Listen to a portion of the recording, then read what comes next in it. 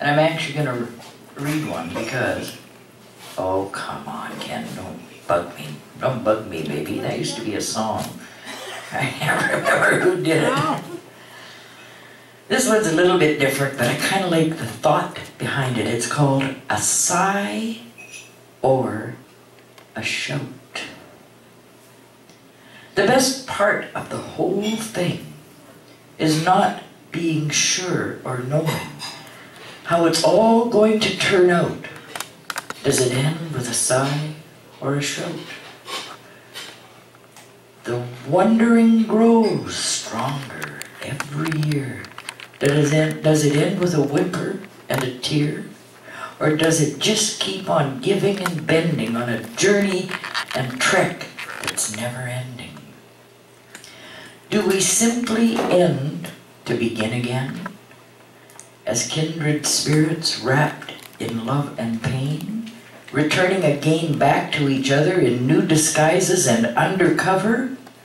Or does karmic tension dance on a thread as we climb back into each other's bed.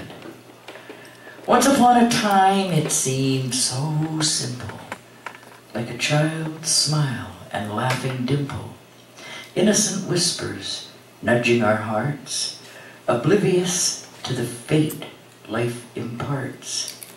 We continue to sojourn, sometimes world weary, down pathways and trails, uncertain and dreary, hoping to find that lost chain of gold, searching for dreams to have and hold, close to our chest to warm us at night, cleansing our wrongs and ringing them right.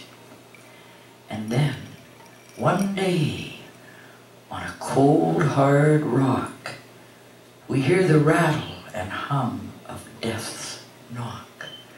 And run as we may, we can't run away. The hour is here and it's judgment day.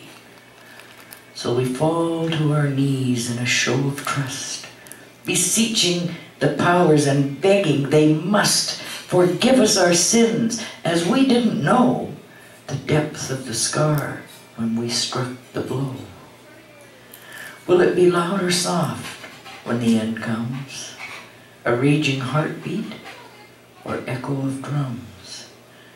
The best part of the whole thing is not being sure or knowing how it's all going to turn out, not knowing if it ends with a sigh or a shout.